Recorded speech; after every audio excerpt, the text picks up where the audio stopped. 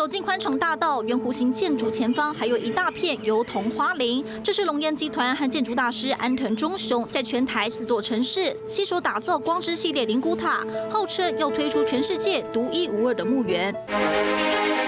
其中位在桃园富冈陵园的光之回廊，当年盛大举办动土仪式，不少消费者眼睛一亮入手，龙岩卖了将近四万座，说好五年内会盖好，但没想到过了十五年，至今仍是空地一片，传出这里连建造都没取得。我们顺势走进铁皮搭建的展示中心，墙后藏着上百个牌位和骨灰盒。周刊直击现场，一间铁皮屋内堆满骨灰坛，民众投诉家人已经往生，却迟迟无法入住灵骨塔，甚至有业务因此遭到消费者追杀。龙岩的前业务也曝光公司行销手法。光之回廊这个建案之所以没被取消，就是因为它能替真龙店滞销的塔位提供另一种销售管道，反而能把真龙店里面一些卖相欠佳的塔位给成功的卖出去。由于不能预售，被吸引的顾客就得先买其他项目，再拿。购买凭证等盖好后换取，而在新北市三支另一座光之殿堂也出问题，规模更大的光之殿堂价钱也翻倍涨到六七十万，不过却被爆料预计销售十万个塔位，其实市府只准盖五千个。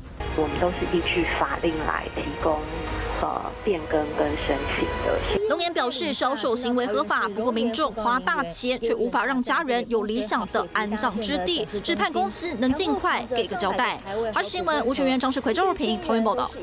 Hello，我是李明瑞，想要抢先掌握最及时的新闻资讯吗？赶快订阅、按赞、开启小铃铛，锁定我们华视新闻的 YouTube 频道。